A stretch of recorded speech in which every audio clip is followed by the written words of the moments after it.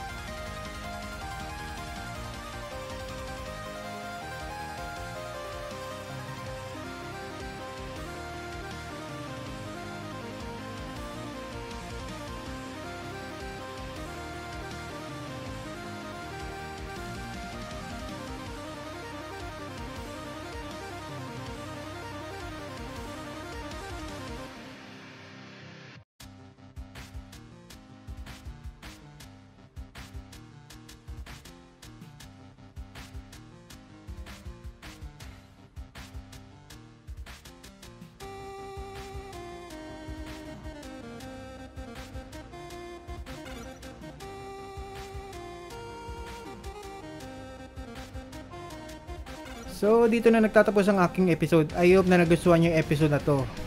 Salamat sa lahat ng suporta nyo. Road to 15k subscribe na ako. Hindi lang sa akin, pati sa ibang kada crop. Salamat sa mga suporta nyo. So, sisimulan ko na yung pag-shoutout. Shoutout sa mga to.